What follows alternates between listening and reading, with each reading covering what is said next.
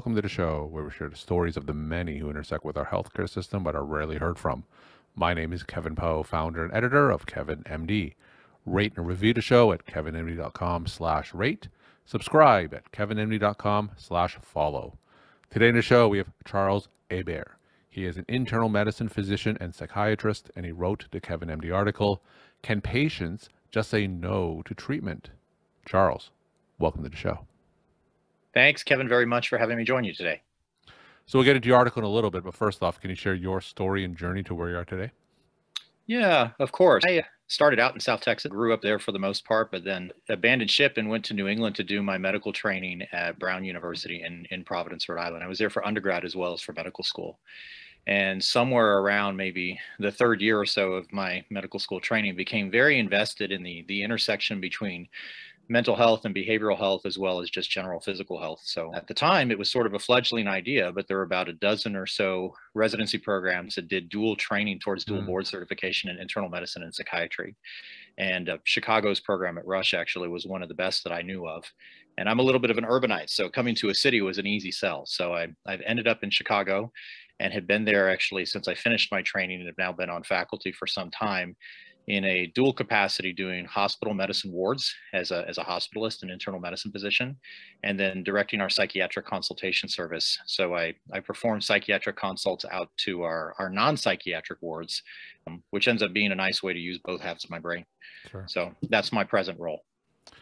Tell us about some of the, the challenges that you see typically on a daily basis, some of the challenges you see with that intersection between internal medicine and psychiatry. Yeah, I think one of the things that I think is most appealing to me, but also challenging, is that the threats I think that patients face from threats to physical integrity, like, say, being diagnosed with a terminal illness mm. or anything that actually has a real chronic course, are, are, radically different from some of the things that are stressors for a lot of people that aren't facing such conditions. I, I tell my residents and trainees that threats to physical integrity are not the same time, same thing as a flat tire, or perhaps actually, you know, losing your job or breaking up in an otherwise stable relationship relationship. Mm-hmm. So it's uh, it tends to actually be very jarring for patients, which is actually part of what I enjoy the crisis intervention piece. Where I practice, I think there's a real healthy respect for the integration of the two, and that your physical health has real bearings on your mood, mm-hmm. and your mood in turn has real bearings on your physical health. I think the pandemic that we're in has actually really put a magnifying glass over that concept. And now I think that idea has more traction than before. But it's still a challenge to actually get some places to recognize that they're really intertwined, the 2 mm-hmm. of them. All right, let's talk more about your Kevin MD article. It's titled, Can Patients Just Say No to Treatment? Now, for those who didn't get a chance to read your article, can you just walk my audience through it and share the story of why you decided to write it? Of course, when I was originally conceiving of this idea, Kevin, this actually started out as a piece around compassion fatigue, which I had seen so much of in some of my my partners in hospital medicine. I've had the mm-hmm. experience with the pandemic of both directly treating COVID patients as a hospitalist and internist, and then also had the experience of actually tending to their behavioral health needs as a consulting psychiatrist. Mm. And when I wrote this piece, um, it was in January, right around the time that Omicron was surging. So our wards were full, and like I said, it started out as a piece on compassion fatigue, but as it took shape, what really actually kind of captured my interest was some of my partners who recognized the misinformation around vaccination for COVID 19. And we were seeing a great deal of that on our wards, and it was leading actually, I think, to a large inpatient unvaccinated population, which was true in most places throughout the country. And I had a colleague who came up to me and said, Wouldn't it be possible, shouldn't it be possible, that if people are making judgments about vaccination that are based not on the science, but on uninformed or misinformation, uninformed ideas or misinformation, couldn't they just simply be judged to be non decisional? Mm-hmm. Um, and if they're non decisional and don't have decisional capacity, could a surrogate actually enter into the equation and say, Hey, I recommend actually vaccination against COVID 19 in this instance?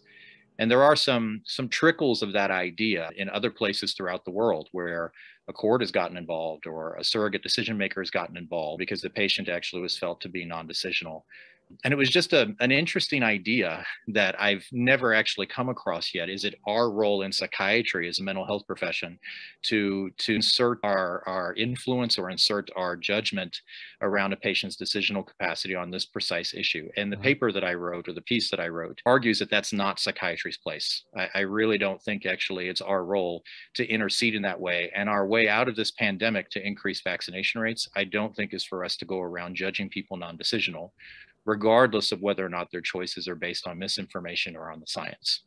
So, what are some of the reasons that you came up with to back that decision?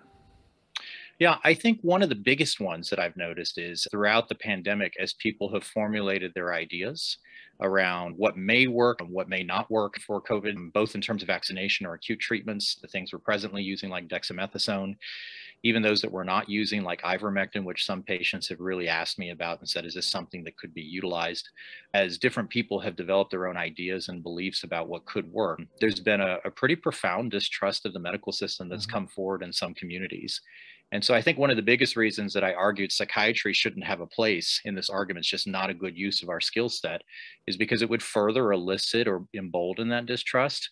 I really think the place for us, and this is kind of how I closed the piece that I wrote, is to be curious, to be mm-hmm. empathic, to listen to why it is people might have ideas against vaccination and offer education around those where possible or uh, sometimes it's actually happened that we've had people who have come to us and said, Look, I got the first dose of the vaccine and had a horrible reaction to it. Mm-hmm. And uh, avoiding judgment at all costs, I think, should be our position, because otherwise, I think we further exacerbate that distrust that's already present. Now, tell me a success story. Have there been a case where you've talked to a patient who in- initially was resistant to the vaccine and you use some of your techniques that you just talked about to empathize with that patient and eventually convince that patient to change his or her mind about the vaccine? Yeah. So again, I'm an inpatient physician. So we've just recently, in the past several months, started offering vaccination in the inpatient setting um, based on our stock and supply, we've had some available, and so we've done so. Trying to reach those populations that otherwise wouldn't might might not have access and end up in the hospital on account of contracting COVID. So I won't say I have too many success stories, but I do think we've moved the needle a little bit through some of the bedside conversations I've had with mm-hmm. patients. A lot of times, I think what has worked has been to um, identify a loved one or a partner or a, a friend, even just a, a simple acquaintance who actually has a success story of their own and has said that I I, I got got the COVID vaccine and, and nothing happened. That distrust is really paramount. Mm-hmm. And so, on the opposite end of the spectrum, identifying someone for the patient that they have a great deal of trust in, um, somebody that they cherish, somebody that they really love, and seeing actually that they had a good outcome has really gone the distance. So I, I, think my approach has been just to ask the patient and inquire what what are your concerns, what are your worries. Now, were those the same worries and concerns of someone who did get vaccinated, where it went smoothly, and that that seems to be pretty powerful. Now, are there scenarios where patients can be deemed, when patients, if they refuse treatment, can be deemed non decisional? Yes, there are absolutely scenarios. Um, and that's a big part of my workflow as a psychiatrist is to see people in the inpatient setting and patients who who may not formally know the risks or the benefits or the alternatives of what they're proposing uh, or what's being proposed as a healthcare recommendation, a clinical recommendation. Um, that could be for a colonoscopy, a blood transfusion, a surgery, an experimental investigational drug trial, any of a number of things, Kevin. So th- those situations definitely come up as part of my workflow. So when you get consulted for issues like that, take me through your workflow and thought processes when determining someone is decisional or not. Yeah. So it, it, begins with sort of their cognitive understanding of what it is has been the proposed medical recommendation. So that that means the risks of going forward or foregoing the procedure or the recommended treatment, the benefits of going forward with it, and then if they can, offering a reasonable alternative. Is there another way that we could get to the same place without this intervention, this this medication, this surgery, whatever it might be that's on the table? And then the real challenge, but also I think the most gratifying part of my workflow as a psychiatrist is that it should be something that's also commensurate with their their beliefs, who they are as a person.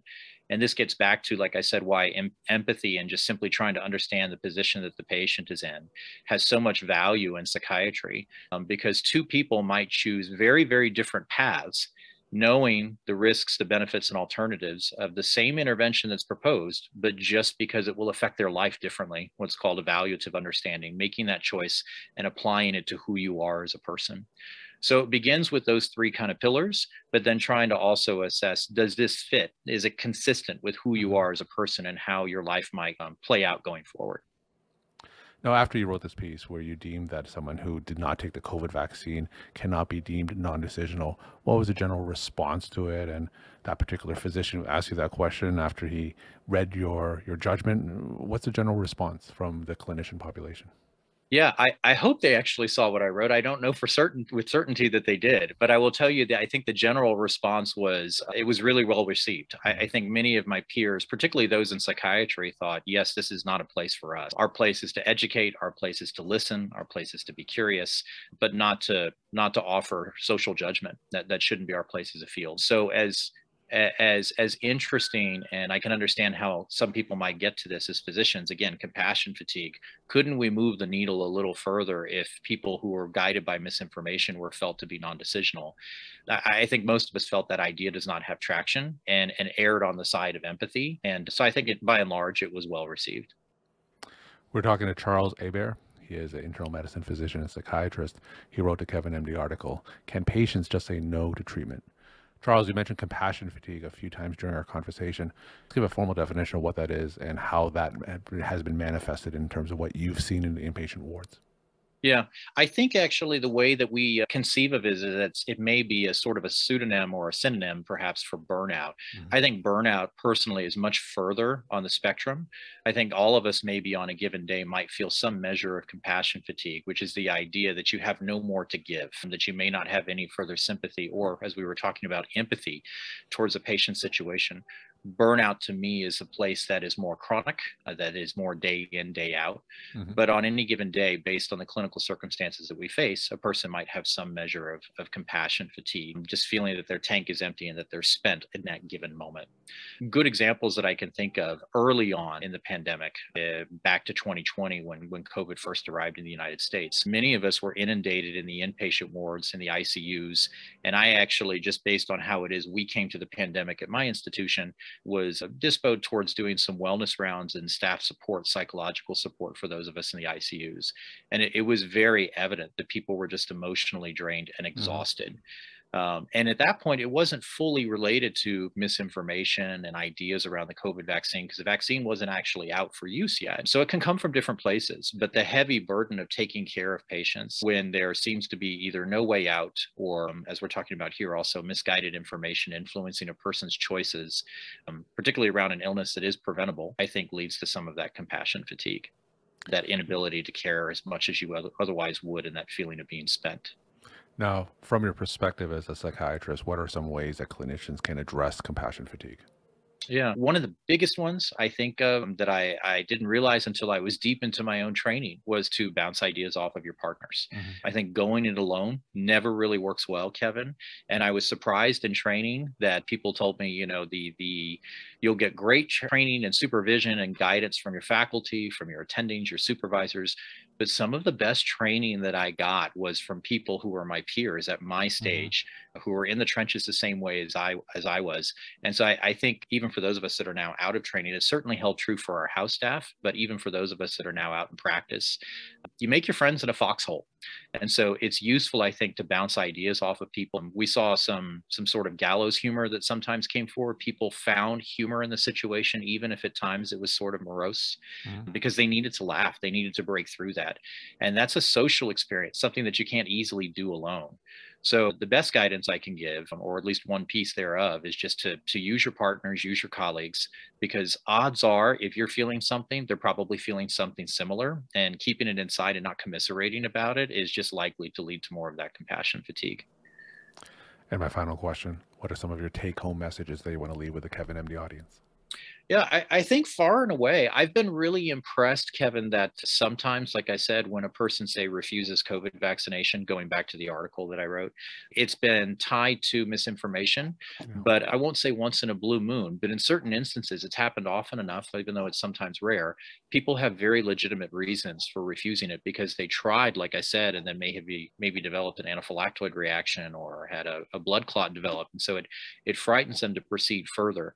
I think my take home point would be to avoid social judgment, mm-hmm. even though I think many of us have become resigned and that compassion fatigue still lingers. It's easy to judge. But part of the joy of working in psychiatry is to hear people's stories. And while people may end up in the same place, nobody's process or journey towards that same place, let's say not moving forward with vaccination, nobody's process or journey is the same. And so being curious, I think, is probably my take home point. And that by itself, if we just try to understand what a patient's journey has been and soften the blow a little bit and eliminate some of the frustration that we sometimes feel around misinformation. Charles, thank you so much for sharing your time and insight. And thanks again for being on the show. Yeah, of course. I appreciate the opportunity. Thank you, Kevin.